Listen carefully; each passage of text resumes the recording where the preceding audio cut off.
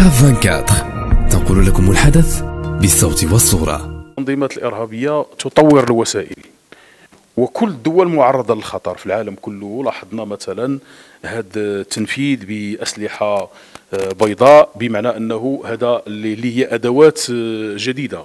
آه، كانت تفجيرات ولكن لما حوصرت من طرف أجهزة, أجهزة الأمن بدأ التنفيذ بهذا النوع من العمليات الجديدة. الخلية التي هذه الخلية التي نفذت العملية تثير الانتباه من الناحية الأمنية لما نحلل كل هذه العناصر. أربعة أشخاص وسيكونون أكثر هذا متوقع. بينهم شخص حاول الذهاب إلى سوريا وألقي عليه القبض وسجن من الأشخاص الذين نفذوا. من يعود إلى تحريضات داعش سيجد بأن كانت تطلب من كل شخص لم يتمكن من الذهاب إلى مناطق الصراع أن ينفذ فوق أرضه وهذا ما وقع. المسألة الثانية اختيار جنسيات بعينها وهي الجنسيات السكندنافية معروف أن الدول السكندنافية أنها تتابع كل قضايا الاعتداء التي يتعرض لها رعاياها وهناك حملة كتحدث في العالم أحيانا بسبب الاعتداء الذي يحدث لرعاياها. مسألة أخرى اختيار مراكش.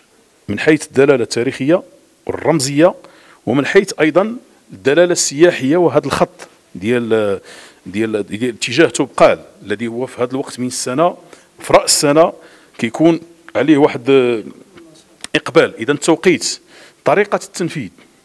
ثم فيديو قبل التنفيذ.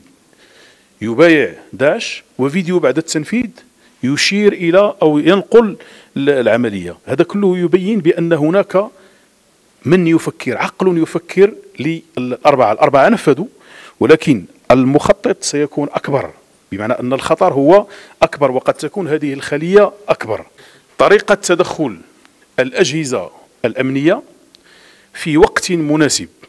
تدخلوا لأنه لا أحد كان يعرف ماذا سيحدث داخل الحافلة. كان متوقع لأنهم ضبطوا بأسلحتهم.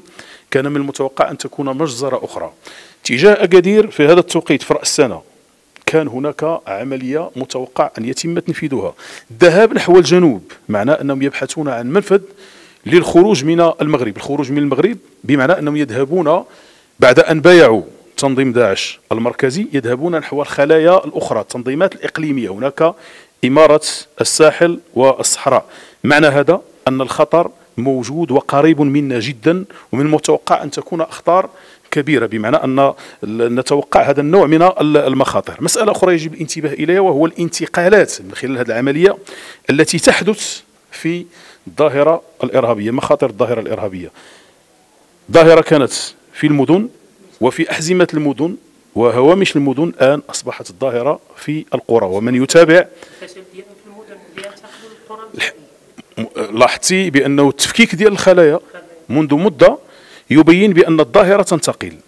الحصار الذي ضرب حولهم في المدن يجعلهم ينتقلون إلى القرى وفي القرى هناك مجالات واسعة. أولا الفضاء في القرى يساعد. ثم مسألة التأطير في القرى هي لا زالت إلى حد ما صعبة لأن الخطر هنا آه، متوقع وهذا هو إذا شئت المسألة التي الأمنية التي يجب الانتباه إليها.